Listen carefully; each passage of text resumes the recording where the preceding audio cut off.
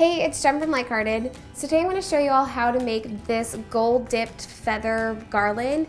It's super easy and it's great because it totally fits into that bohemian chic vibe that's really popular in home decor. Um, I'm actually making this for a friend's nursery because she's having uh, a new little girl and um, we're kind of doing this so, sort of boho chic um, decor in the nursery. So let me show you how to make it.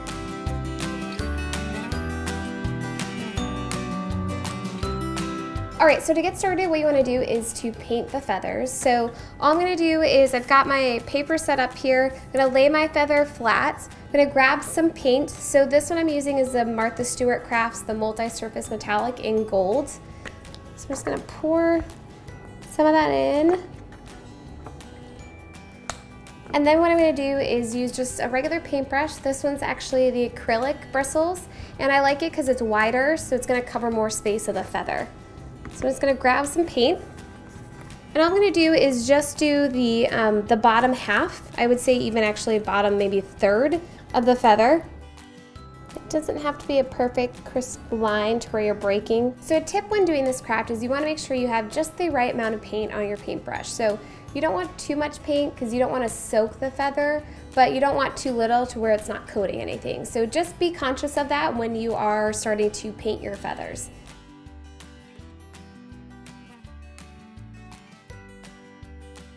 All right, so now I'm gonna do is start to actually build the garland. So what you wanna do is take some twine or string, whatever you prefer, and um, what I'm gonna do is actually thread some beads. So I'm gonna add a little extra touch onto these. Um, these are just some of those gold plastic beads you can get at the craft store. They come in a huge bag. So I've already cut my string to the length I want it with a little extra give because you're gonna tie it around the feathers. And then I'm going to um, actually thread all my beads now. So it'll be easier to tie. So you can kind of see I've got them, uh, it all set up here. So now what we're gonna do is take one end, gonna leave a little bit of space, um, a little extra so that in case um, they, uh, you wanna hang it up, you can actually, you know, tie the knot. So I'm gonna find a couple inches in, I'm gonna find where I wanna place my first feather. I'm gonna take one of the beads and I'm just going to literally just tie a knot.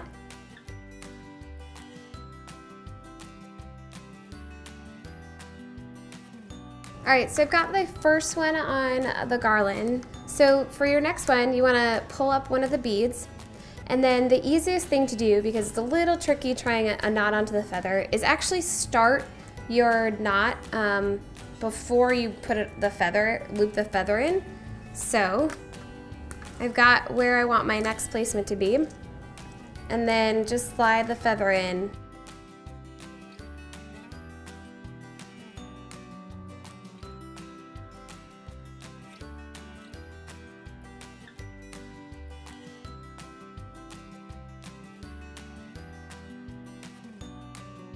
So I hope you enjoyed this craft and for more party, entertaining, or home decor tips, Make sure you subscribe to the channel and follow me on IamLikehearted.com.